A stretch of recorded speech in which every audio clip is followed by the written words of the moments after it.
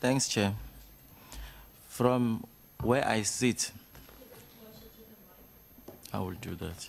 From, from where I sit, Chair, I would have loved to understand most of the reasoning uh, that is shared by uh, the previous speakers. But this is where I see things. Every generation has a right to a struggle. This is a legitimate struggle. This is a good cause. Some of us did fight for this struggle. We did not win out of no choice of our own, but out of a choice of a system that saw it fit to do all other things except providing for free education. So I will never be part to anything that condemn the struggles of young people that are genuine. However, the struggles of young people that are genuine, which as a parent, I've got two boys at varsity.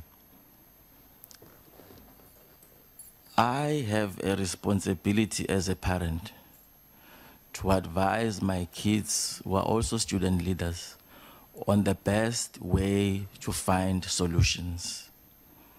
And I think it is good that the Parents Dialogue Collective is on board and many other stakeholders. It cannot be true that the government did not have ample time to think about solutions.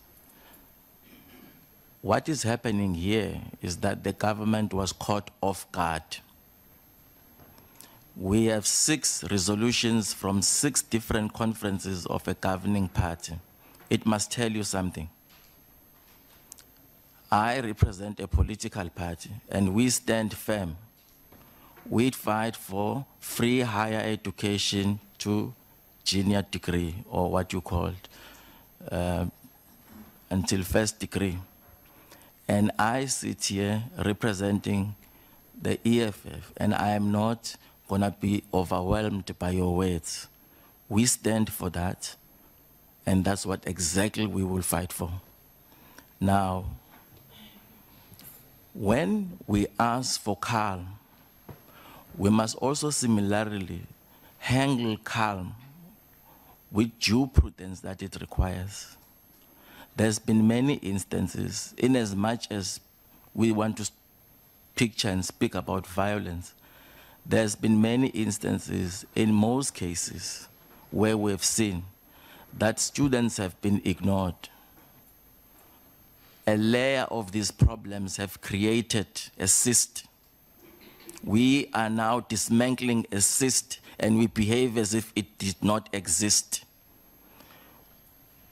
We will never be party to a problem that is first not granted its attention as a problem because whatever we do now seek to reach an amicable decision to save 2016 we still have um, we still have uh, 2017 these problems have visited us and they are here to stay.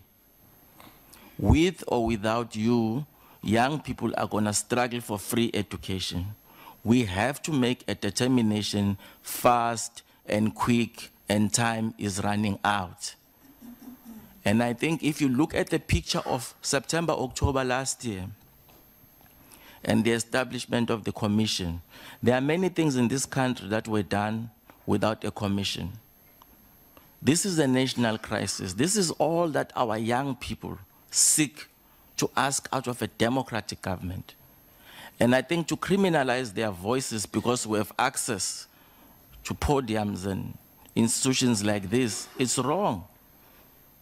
There are, there are young people seriously hurt by the inequalities that we have in this country. And unfortunately, we are not paying attention and not paying attention delivers us to a miracle of problems that we find at higher education.